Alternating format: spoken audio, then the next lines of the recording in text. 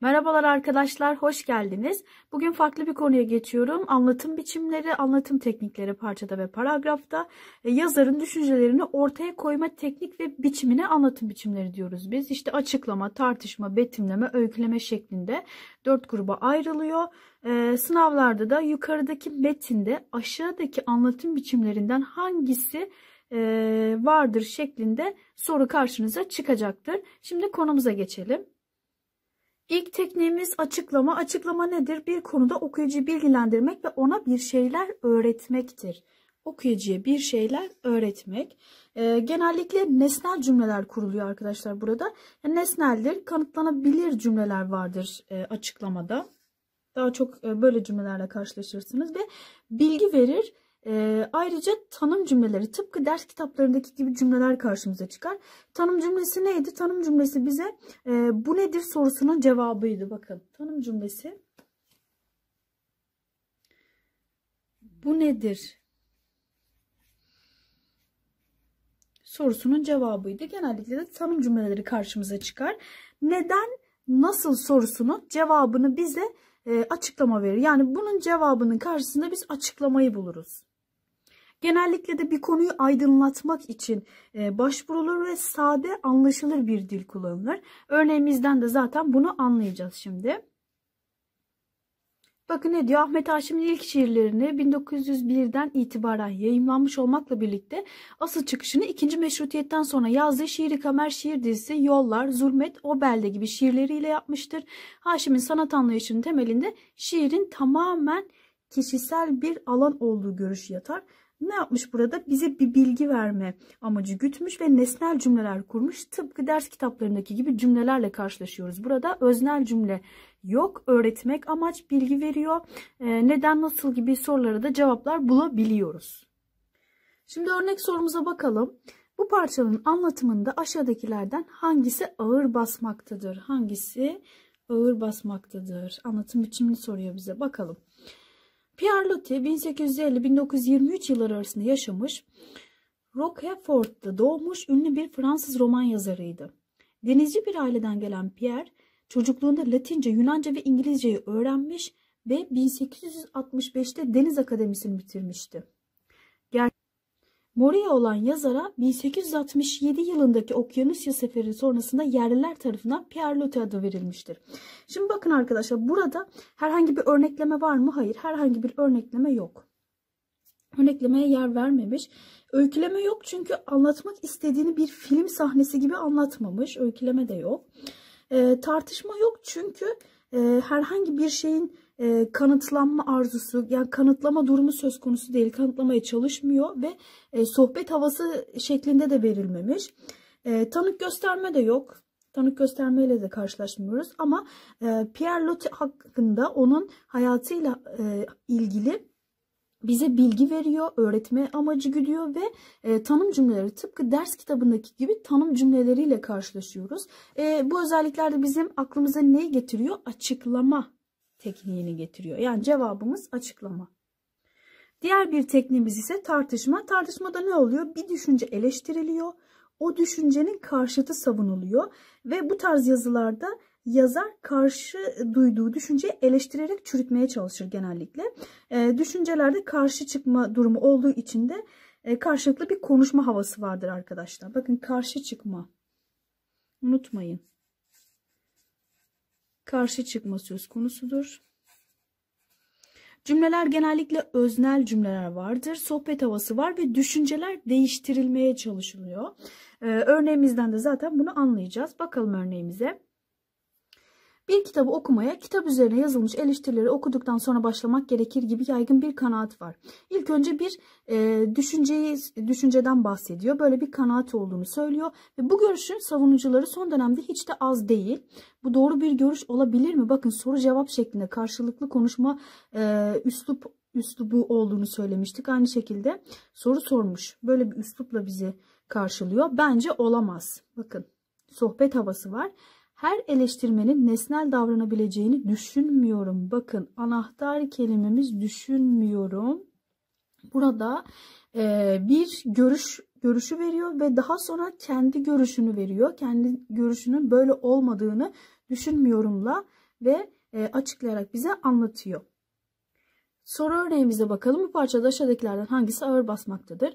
Dünyanın yedi harikası olur da üç kıtada yüzyıllarca hüküm sürmüş, 600 yılı aşan varlığından geriye olağanüstü bir kültür hazinesi bırakmış Osmanlı'nın yedi harikası olamaz mı?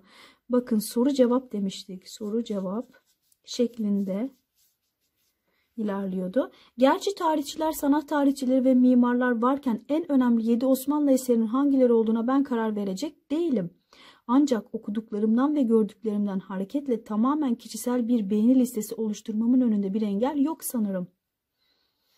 İşte benden Osmanlı'nın yedi harikası Süleymaniye Külliyesi, Selimiye Camisi, Mostor Köprüsü, Mağlava Kemeri, Kavalalı Mehmet Ali Paşa Camisi, Kubbetüs Sahra, Hamidiye Çarşısı.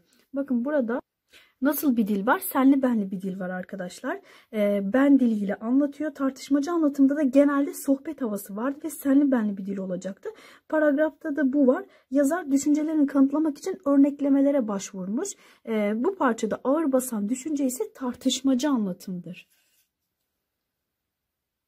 Diğer bir tekniğimiz ise betimleme. Betimleme biliyorsunuz e, resim yani Sözcüklerle resim çizme sanatı yıllardır tanımı böyle yapılır. Betimlemede genellikle ayrıntılara yer verilir ve varlıkların niteliklerinden bahsedilir. Görme duyusu e, ağırlıklı olarak karşımıza çıkar. İşte varlıkların renkleri, şekilleri, nitelikleri verilir. Betimlemede yorum varsa öznel betimleme. E, eğer yazar gördüklerini olduğu gibi aktarıyorsa ise nesnel betimleme vardır. Bakın yorum varsa öznel betimleme olduğu gibi aktarma varsa ise nesnel betimleme diyoruz. Örneğe bakın. Minibüsle sabahleyin yola çıktık. Yeşilin açığından koyusuna değin bütün tonlarıyla bezenmiş ağaçların süslediği yamaçlardan, tepelerden geçtik. Şırıl şırıl akan derecikler, şırıl şırıl akan derecikleri aşağı aşağı sonunda yeryüzü cennetine vardık. Kameramızı çıkarıp bu manzarayı görüntüledik. Ne oluyor burada? Parça gözümüzde bir film şeridi gibi canlanıyor. Geçti gözümüzün önünden. Ee,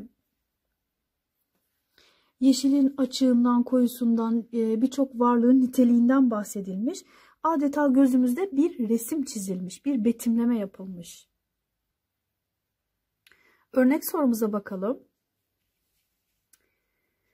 Bu dizelerde aşağıdaki anlatım biçimlerinden hangisi ağır basmaktadır? Genelde zaten karşınıza çıkacak olan örnek soru bu şekilde olur. Hangisi ağır basmaktadır? E, anlatım biçimlerinden hangisi kullanılmıştır şeklinde karşınıza çıkacak. Okuyalım şiirimizi. Uzak gri bir çizgide birleşiyor gökle deniz, bir martı tek başına uçuyor maviliklere. Sandalda bir kayıkçı sanki yalnızlığı topluyor ağlara. Burada bazı anahtar kelimelerimiz var bizim. Bakın gri bir çizgi. Gri bir çizgi nedir? Nitelemiş. Niteleme söz konusu niteleme, varlıkların nitelenmesi. Daha sonra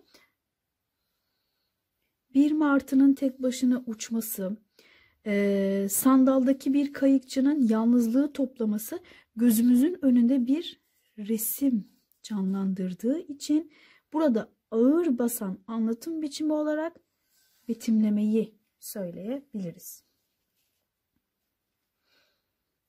Bakın açıklama zaten olamaz çünkü açıklama için ne dedik? Tanım cümleleri olacak dedik daha çok ama e, zaten bir şiir bu ve e, bunun burada böyle bir durum söz konusu olamaz. Karşılaştırma e, var mı? Hayır karşılaştırma göremiyoruz. Örnekleme yok. Aynı şekilde tartışma, bir düşünce savunulmaya çalışmıyor. Yani zaten e, seçeneklere bakarsak karşımıza direkt betimleme çıkıyor. Diğer sorumuza bakalım. Aşağıdaki cümlelerin hangisinde betimleme yoktur? Tek tek bakalım şimdi cümlelerimize. Söylenenleri hiç duymuyormuşçasına dalgın, düşünceli bir tavırla işini yapmayı sürdürdü. Ee, burada e, kişinin dalgın ve düşünceli olduğunu biz e, görüyoruz. Yani ona bakarak hal ve hareketlerini izleyerek, görerek, bakın betimlemede görmek. Görme duyusu önemliydi. görerek biz bunu anlıyoruz. Burada bir kişi betimlemesi yapılmış. Betimleme var. B'ye Artık bahar geldi derken birdenbire hava bozmuş. Damlar, sokaklar, kırlar karla örülmüştü. Burada bir e, dış dünya betimlemesi yapılmış. C'ye bakalım. Az konuşan, doğruyu söyleyen, söylediğini tartan bir insandı. E, ruhsal bir portre betimlemesi var. Kişilik özellikleri verilmiş. Bakın az konuşan, doğruyu söyleyen, söylediğini tartan bir insandı. Ruhsal bir betimleme portresi görüyoruz. E, D'de ise içli, içli, çok duygulu bir adamdı. Konuşurken hem ağlar hem de ağlatırdı. Aynı şekilde yine insani özelliklerden bahsetmiş. Burada da ruhsal bir portre betimlemesi bulunmakta. E'ye bakalım. Benim gibi babamın da dedemin de çocukluk ve ilk gençlik günleri hep bu konakta geçmişti. Burada bir yargı var ama e, burada konağın betimlemesi yapılmamış. Herhangi bir betimleme söz konusu değil. Sadece bir durumdan bahsedilmiş. Cevabımız E şıkkı. Burada bir betimleme söz konusu değil. Diğer bir tekniğimiz ise öyküleme. Öyküleme nedir? Öyküleme olay anlatımıdır. Bir hareket ve olay akışı söz konusu olacak burada. Olay mutlaka olacak ve hareket de olacak mutlaka. Ee, olay belli bir yer, zaman ve kahramanların hareketleriyle ortaya çıkar. Hareket halindeki kahramanların anlatımı vardır. Bu da bir anlatıcı gerektiriyor. Yani anlatıcı da e, bulunuyor. Ve e, genellikle geçmiş zaman kipi kullanılıyor. Mişli geçmiş zaman, değilli geçmiş zaman şeklinde ama genellikle e, mişli geçmiş zaman karşımıza çıkar. E, burada e, aslında betimleme için resim dedik, öyküleme için de film sahnesi diyebiliriz.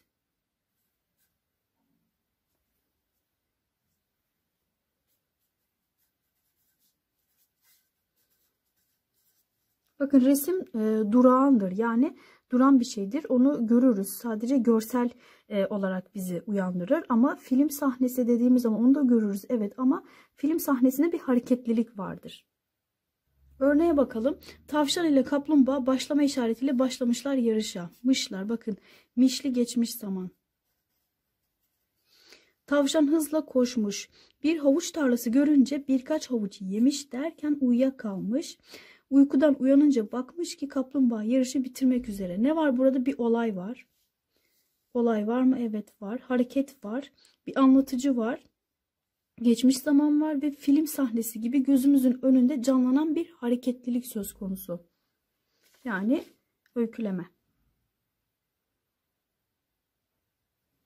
Örnek soruya bakalım. Bu parçanın anlatımında aşağıdakilerden hangisine başvurulmuştur? Her zaman dediğim gibi e, Aynı soru sürekli aynı soru tipi karşımıza çıkıyor. Soru 1. Adalarda oturanlar akşam üzeri iskeleye çıkıp gelenleri karşılar gidenleri uğurlarlar. Gençler arkadaşlarıyla buluşur. Yaşlılar çay bahçelerinde aralarında söyleşirler. Saat 9'a gelince herkes evine dönmüş, sofraya oturmuş olur. Adalara gezmeye gelen birkaç kişi dışında kimseleri göremezsiniz ortalıkta. Ee, şimdi burada bir hareketlilik var e, insanlar var burada. Bir hareketlilik ve bir olay var. E, tanımlama, tartışma, açıklama, karşılaştırma gibi anlatım biçimleriyle karşılaşmıyoruz. Burada öyküleme söz konusu. Diğer bir örneğimiz yine aynı şekilde bu parçanın anlatımında aşağıdakilerden hangisine başvurulmuştur? Hangilerine bu sefer e, iki tane anlatım biçimine başvurulmuş. Köyden kasabaya taşınmıştık. Cadde üstünde sol tarafta bahçesi olan beyaz boyalı bir ev satın almıştık. Bahçemizden komşu bahçeden gelen küçük bir su yolu geçiyordu. Bu su yan duvarın altından aşağıdaki bahçelere akıyordu.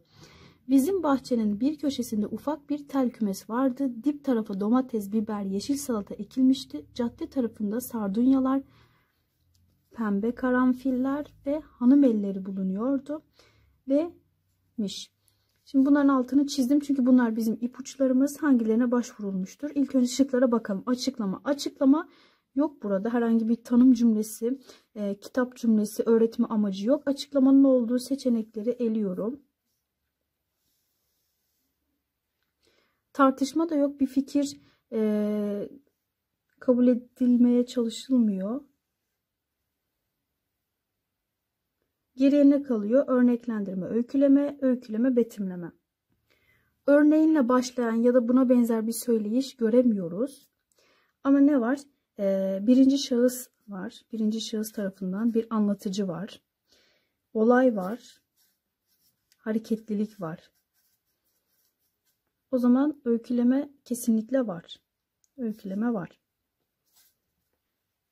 Bunun dışında bir de nitelikler var. Nitelikler var. Pembe karanfiller. Bakın karanfil nitelendirilmiş burada. Nitelikleri nerede görüyorduk? Nitelikleri betimlemede görüyorduk. O halde biz burada öyküleme ve betimleme biçimleriyle karşılaşıyoruz. Öyküleme ve betimleme arasındaki bir de e, benzer ve farklılıklara bakalım. Öykülemede ne olacak? Öyküleme, film,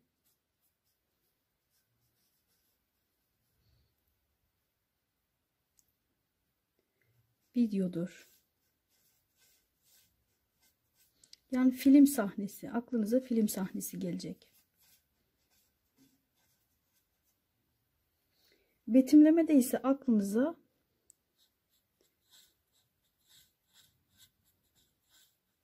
fotoğraf karesi gelecek. Yani bir durağanlık var. Öykülemede bir hareketlilik var. Bir film sahnesi. Betimlemede ise fotoğraf karesi. Ee, öykülemede hareketliliği yazalım. Hareketlilik var. Betimlemede herhangi bir e, hareketlilik değil de bir resim aslında resim karşımıza çıkıyor. Duran.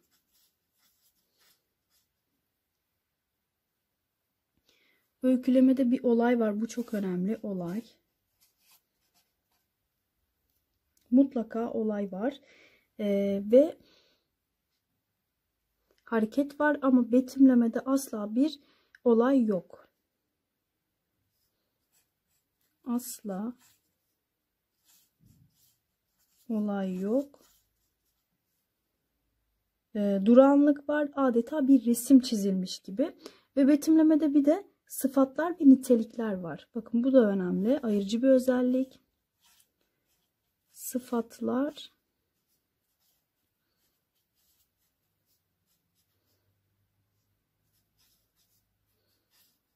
İşte bunlar neler? Pembe ev.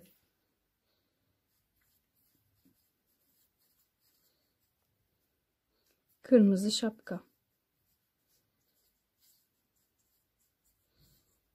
Pembe panjur gibi böyle e, niteleyici sıfatlar bulunmakta betimlemede. Öykülemede bu söz konusu değil. Ee, bakın örneklere bakalım. Derse geç kalmıştım. Hemen bir taksi tuttum. Taksici beni derse yetiştirmek için biraz hızlı sürdü. Önümüzde giden araç ani fren yapınca ona arkadan çarptık. Burada tamamen bir olay söz konusu. Geçmiş zaman. Geçmiş zaman var ve hareketlilik. Hareket var. Yani burada bir öyküleme söz konusu. Aynı şekilde Karaduman güçlüydü, korkusuzdu, uzun bacaklarına güveniyordu. Hiç durmadan atılmıştı, ayaklarının kesildiği yerde yüzüyor. Tabanı bulduğu zaman sürüklenmemek için gayretle direniyordu. Burada da aynı şekilde öyküleme var. Çünkü ne var? Olay var, hareket var, kişi var. En önemlisi hareket, film sahnesi unutmayın.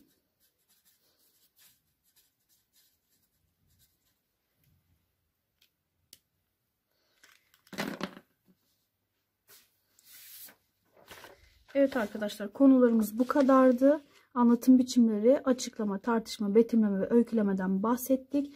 Bir sonraki videoda farklı bir konuya geçeceğim. Bir sonraki videoda görüşmek üzere. Kendinize iyi bakın.